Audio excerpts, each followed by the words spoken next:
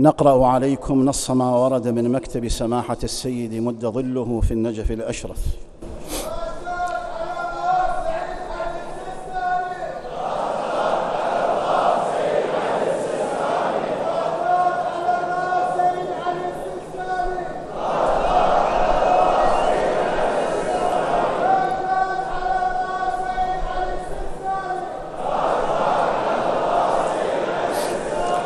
بسم الله الرحمن الرحيم.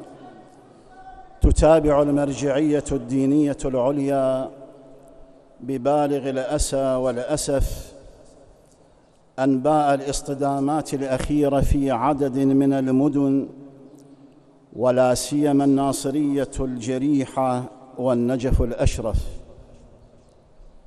وما جرى خلال ذلك من إراقة الكثير من الدماء الغالية والتعرض للعديد من الممتلكات بالحرق والتخريب.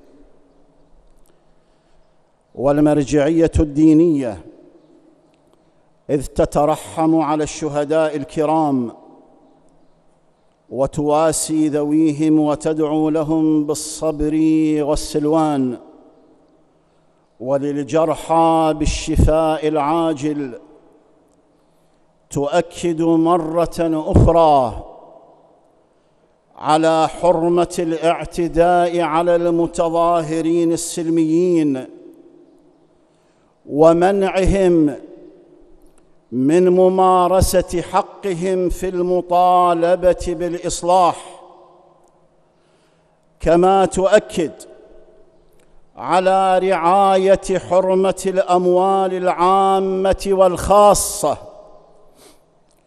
وضرورة أن لا تترك عرضة لاعتداءات المندسين وأضرابهم وعلى المتظاهرين السلميين أن يميزوا صفوفهم من غير السلميين ويتعاونوا في طرد المخربين ايا كانوا ولا يسمحوا لهم باستغلال التظاهرات السلمية للإضرار بممتلكات المواطنين والاعتداء على أصحابها.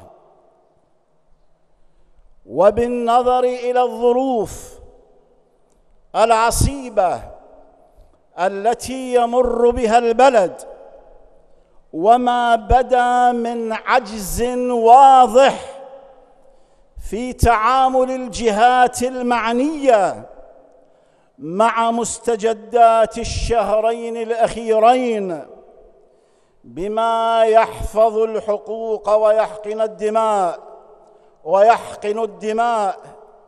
فإن مجلس النواب الذي انبثقت منه الحكومة الراهنة مدعو إلى أن يعيد النظر في خياراته بهذا الشأن ويتصرف بما تمليه مصلحة العراق والمحافظة على دماء أبنائه.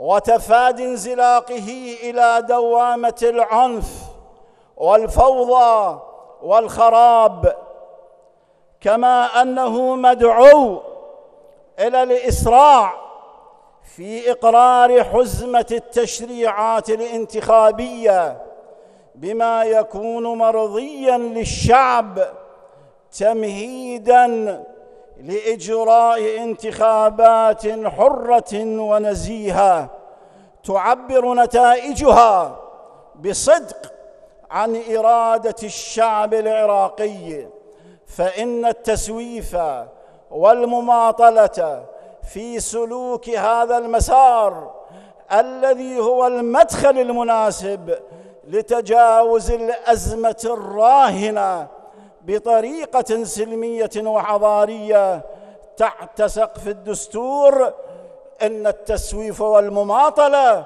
سيكلف البلاد ثمنا باهظا وسيندم عليه الجميع. إن الأعداء وأدواتهم يخططون لتحقيق أهدافهم الخبيثة من نشر الفوضى والخراب والانجرار إلى الاقتتال الداخلي ومن ثم إعادة البلد إلى عصر الدكتاتورية المقيتة. فلا بد أن يتعاون الجميع لتفويت الفرصة عليهم في ذلك. إن المرجعية الدينية أيها الأخوة إن المرجعية الدينية سندا للشعب العراقي الكريم وليس لها إلا النصح والإرشاد إلى ما ترى أنه في مصلحة الشعب ويبقى للشعب أن يختار ما يرتئي أنه الأصلح لحاضره ومستقبله بلا وصاية لأحد عليه. حفظ الله البلاد والعباد وجنبنا كل سوء ووفق الله الجميع لما يحب ويرضى. إنه نسم المأمول إنه نعم المأمول والمسؤول والحمد لله رب العالمين.